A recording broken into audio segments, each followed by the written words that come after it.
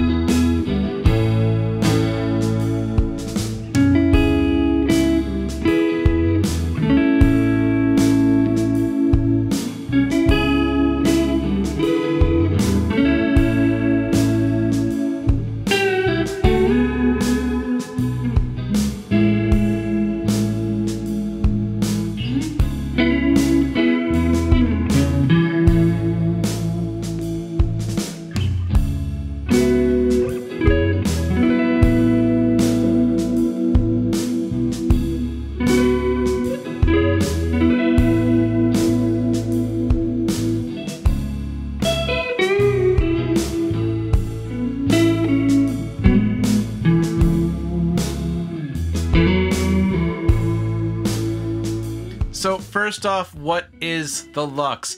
It's actually pretty simple. It's a digital polyphonic pitch shifter. It's essentially a whammy pedal with a half step range in either direction.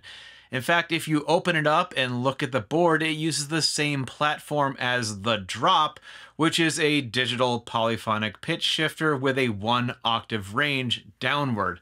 The differences being the code, which is loaded onto this chip but this isn't a whammy pedal, it's a detune pedal. And detune is just, well, bending pitch. And in this case, mixing that detune pitch back in with the original signal. So here's before.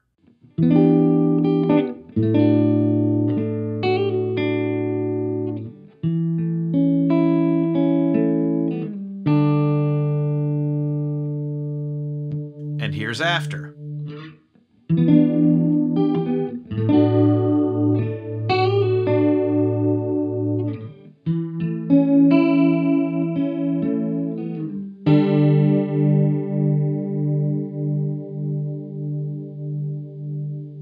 And you certainly wouldn't be wrong for saying, hey, that kind of sounds like a chorus pedal. Yeah, let's peel that back and take a little bit of a closer look. Here is a Maxon CS5, a pretty standard sounding chorus pedal.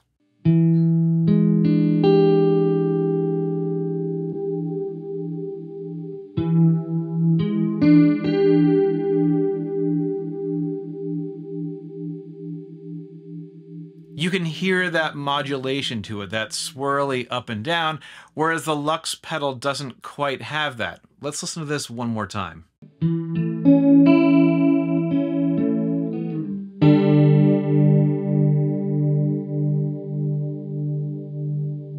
Let's say we've got two turntables and a microphone, and we've got them perfectly synchronized so they sound just like one, they're completely identical.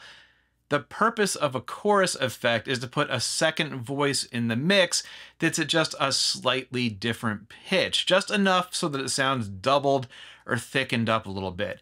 With a turntable, we could do that just by slowing it down a little bit. By slowing it down, the pitch gets lowered.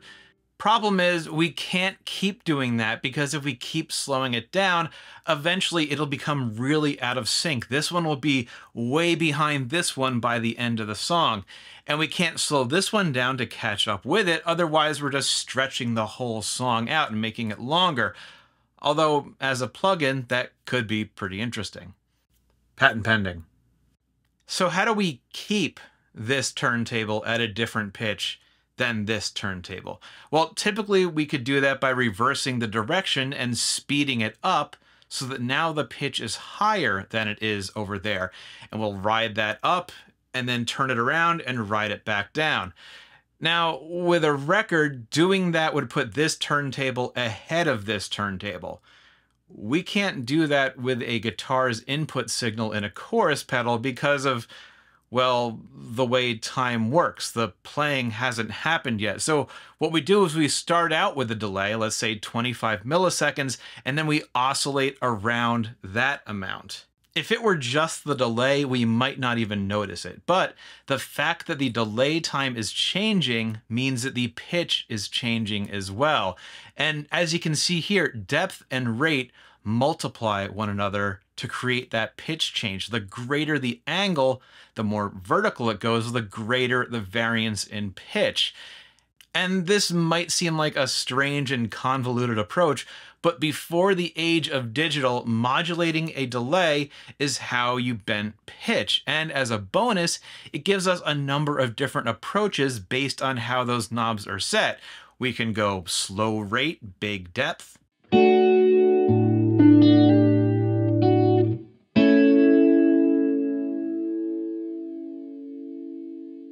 Shallow depth with a quick rate.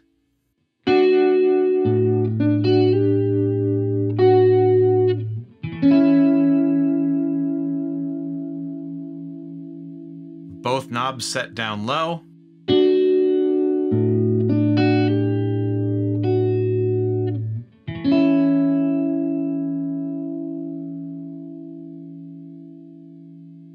Or go wild and crank both of them all the way up.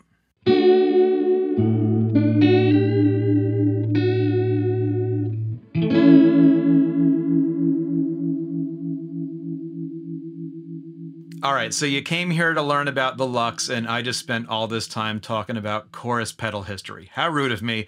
Let's get back to this guy. So, because this pedal has a powerful onboard DSP, it doesn't have to do any of that. It just goes, all right, you want a second voice in there at a slightly different pitch?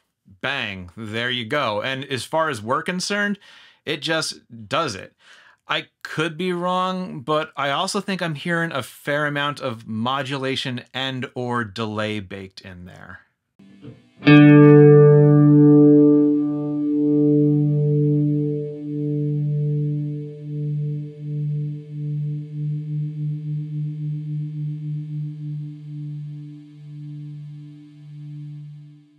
Could also just be the frequencies interfering with one another. Either way, this pedal has a sound. And remember, the main purpose of the chorus effect is to add a second voice in the mix.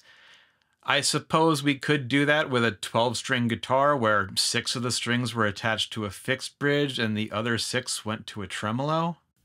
Patent pending. But doing it electronically, those are our main options. And that's why chorus and detune are two different things. To bring it all back around, let's do a rapid fire comparison. Here's a dry guitar with no effects at all.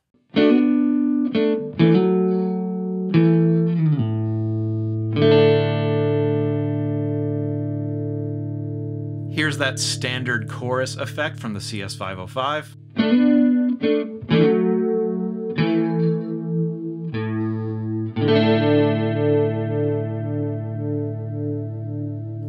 The Luxe detune.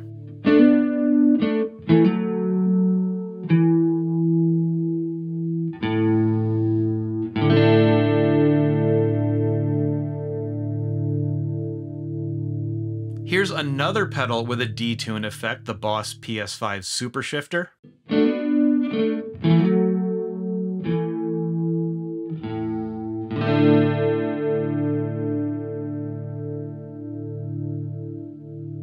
And you know what? As long as we're at it, here's the dimension effect from the Boss DC2 Waza.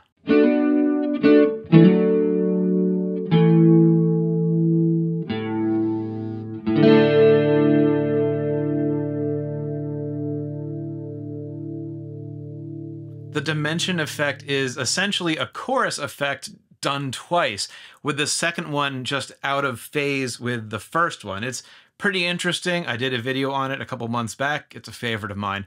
Over on the Luxe, we just got two knobs. We got level and detune. Level is a mixer, so how much of that overall effect do we want in there? and then detune is how far sharp or flat we want it to go. It'll take us a full half step in either direction, and balancing these knobs, we can take it from just barely there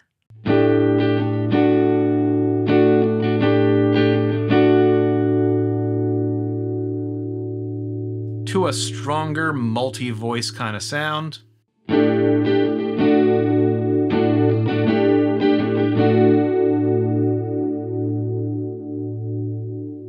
To something that definitely just sounds straight up wrong.